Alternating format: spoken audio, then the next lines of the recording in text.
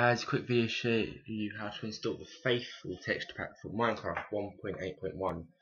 You can download two links in the description, which is the texture pack and MC Patcher 2.1.1.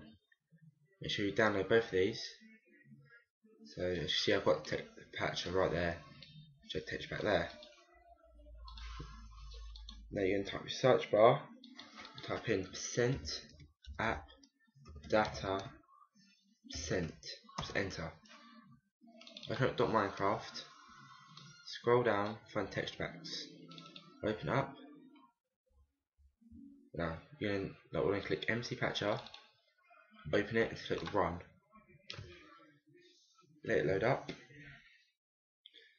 Takes time because my computer is rubbish. Here we go. Let it load up. Patching make sure all three is all three items are ticked and then click the big patch button at the bottom. All those patches. There you go it's done. Close out of it. Now the faithful text pack you drag it into your text packs folder. And that is it.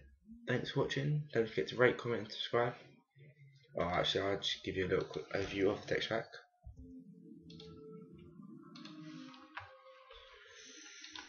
uh, just go into this Oops, sorry, forgot to enable it. So you go click on text packs and it'll be right there, faithful text pack. These are my text packs.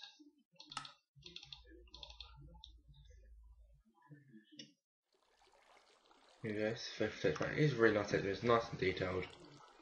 Nine that's really nice, so state, torches, yeah, all looks really nice. And thanks for watching. Don't forget to rate, comment, and subscribe.